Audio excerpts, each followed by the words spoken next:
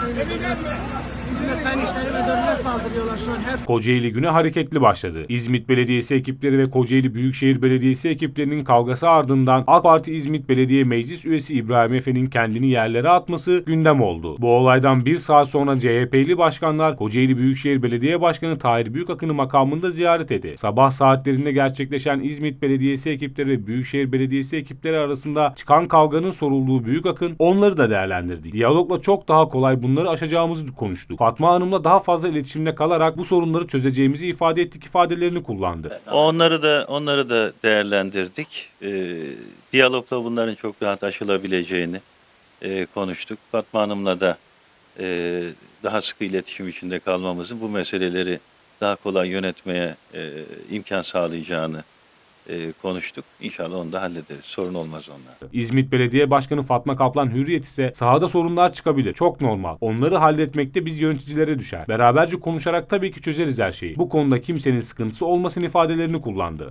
Sorunlar çıkar çok normal sahada. Onları halletmek biz yöneticilere düşer. Beraberce konuşarak tabii ki çözeriz her şeyi. Bu konuda kimsenin bir sıkıntısı olması. Bugün sadece nezaket ziyaretiydi. Gerçi Ahmet Başkan'dan bize çok sıra gelmedi. Maşallah çok istekleri oldu. Biz de e, adil çifte standarta uğramadan hep birlikte bu kentin 12 ilçe belediyesi ve büyükşehirle birlikte e, bütün kentimize Kocaeli'ye hizmet etmek için var gücümüzle dayanışma duygularıyla başkanımıza duygularımızı ifade ettik. Teşekkür ediyoruz.